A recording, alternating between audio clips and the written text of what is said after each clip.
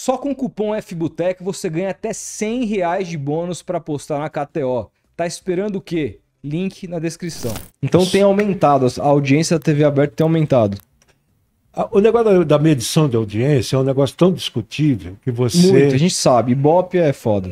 Se começar a discutir isso aí. Não, é. é. Sabe por quê? Eu nunca vi uma pessoa que tem um aparelhinho do Ibope em casa, eu não conheço. Não, eu tô não, tendo não, 33 não. anos de idade. Eu fui para Inglaterra a convite do Cantar Ibope. O trabalho é altamente sério. Tá, Te garanto que é. tá. Sabe? Claro que eles não podem fornecer os endereços da- Claro, das claro. pessoas que têm isso. Há um termo de confia... confi... Confiabilidade. É. Ah, então tem todo um esquema envolvido. Tá, mas não tem então como. Não é, não é Acontece o seguinte: não, não, não, os aparelhinhos não são suficientes para medir, por exemplo, um universo como São Paulo e Grande São Paulo. São muito poucos para medir isso aqui. Além de tudo, antes se media só TV. Hoje se mede também TV paga, a soma da TV paga, o streaming.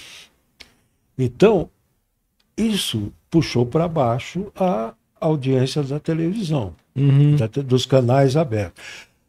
A- fazer comparação de audiência não, não cabe mais, porque antigamente o sistema de medição era um e hoje é outro. Entendeu? Uhum. mesmo ele ampliando o número de nobicílios que cada aparelhinho representa, etc. E tal, é muito difícil você quantificar isso. Então, a discussão sobre resultados de Ibope sempre vai ter. Além do que, porque só no Brasil que tem isso, nós temos a medição, a- a- medição do minuto a minuto. Todo mundo, as- as- todas as TVs têm, né? E todas as pessoas mais importantes que têm dinheiro para fazer isso, para assinar, também tem lá o, o, o- recebe o Ibope minuto a minuto. E nem sempre o que bate no minuto a minuto, que você está lendo, acompanhando lá, é, é o que dá no consolidado no dia seguinte, quando sai o consolidado, entendeu? Isso gera discussão. Uhum. Era melhor acabar com o minuto a minuto. Mas é que o minuto a minuto é importante para você. Você está com o programa no ar, você vê que está funcionando aquilo, você segura um pouquinho, programa ao vivo, né?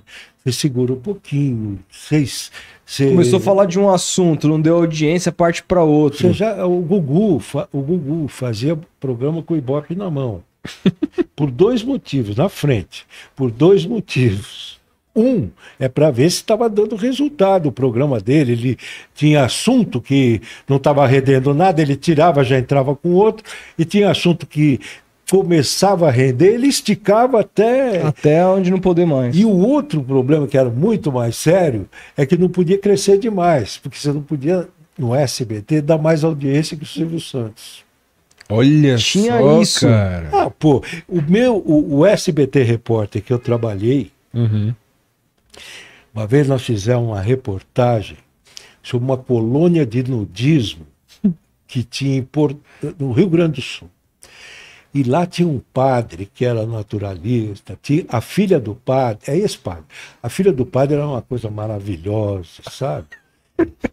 Pô, e nós fizemos aquele A filha programa- do padre, foda. A filha do padre, é. Muito bom. Esse- Não, pô, vocês não imaginam, um programa maravilhoso, que, sabe? Pô, baita Puxa, curiosidade. loirinha e tal.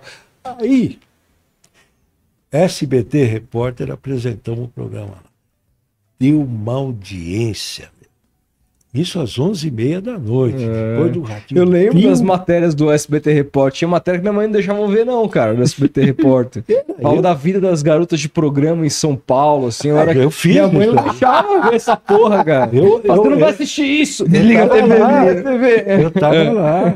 Pô, eu, eu fiz o Papa do Diabo lá. É, então. O cara, Pô, o cara SBT que mora aqui Vitória. O SBT Fui Repórter lá. era roots, cara. Era um Muito. Globo Repórter, mas muito mais na rua. Não, na rua. Lá do rua, B, no né? chão. Não, pé no chão, O cara. dele, o, o, da- o Globo Repórter, sapato Era de meio- pelica. é, cara. é, é. O, o Globo Repórter até hoje eu falo pra você, pô, parece que é o, o mesmo VT dos peixinhos nadando, Não, dos nessa bichos aí. no. Aí fizemos essa reportagem É. da colônia de nudismo. A média foi 24 naquele horário da Caralho. noite. Aí a Globo. Porra, a Globo publica no jornal um anúncio assim. Das 20 maiores audiências da televisão brasileira, 19 são da TV Globo naquele período daquela semana. A exceção era o SBT Repórter com essa reportagem aí. O Silvio viu, Hum. vem cá, audiência dá mu- a audiência custa muito caro. A partir da semana que vem não tem mais. Vamos fazer a adaptação do 2020. Acabou o programa Ele acabou com o programa? ah, dessa forma. Caralho. E até hoje essas reportagens que a gente que você comenta aí, se tivesse o SBT repórter no ar no SBT, eles colocariam as mesmas reportagens, porque a gente sa- eu saí de lá, o SBT repórter voltou para o ar com a apresentação do César Filho. No meu tempo era com a Marília Gabriela e depois Hermano Henning.